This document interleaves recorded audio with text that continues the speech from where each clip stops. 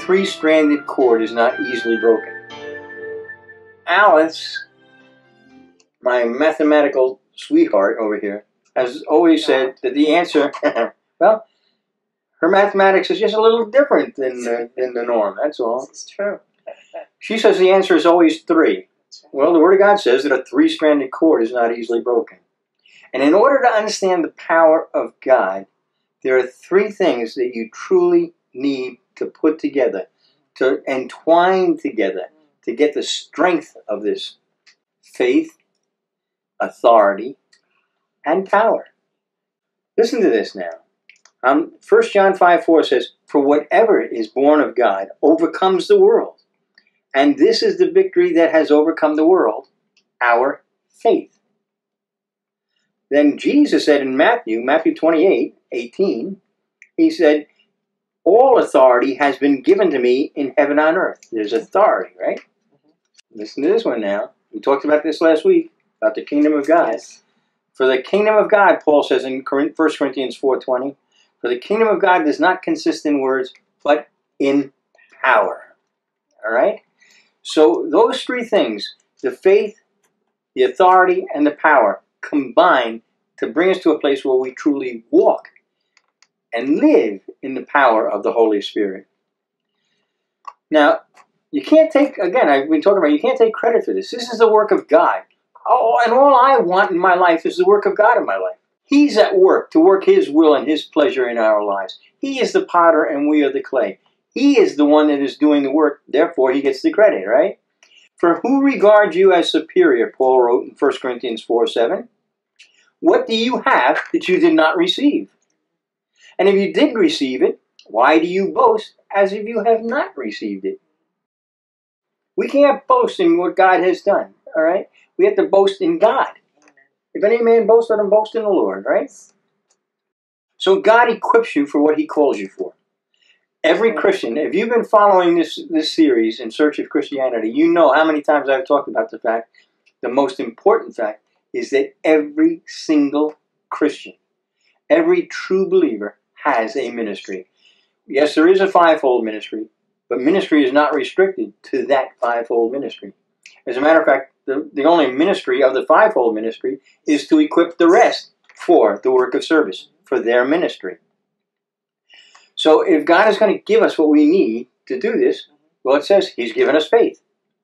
Romans 12:3 says, For through the grace given to me, I say to everyone among you, not to think more highly of himself than he ought to think, but to think so as to have sound judgment, as God has allotted to each a measure of faith.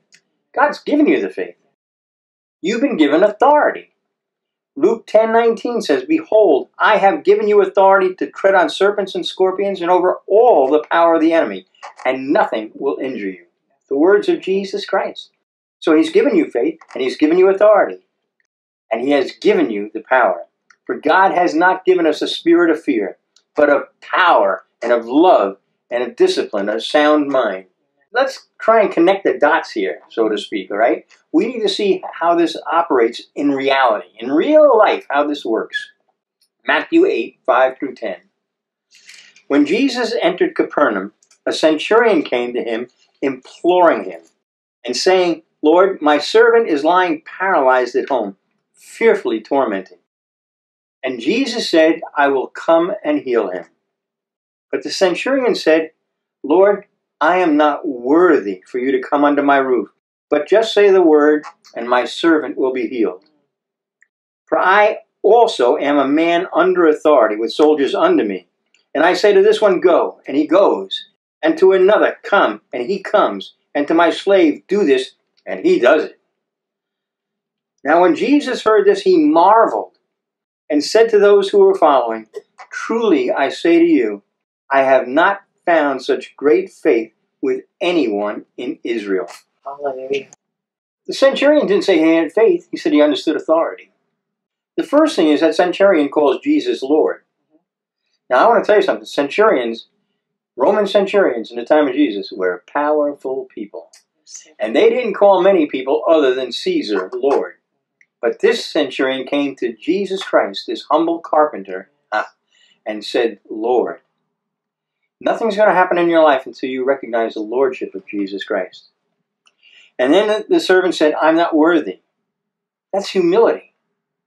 If we're not walking in humility, may God never, if you're not having walking in humility, may God never trust you with power.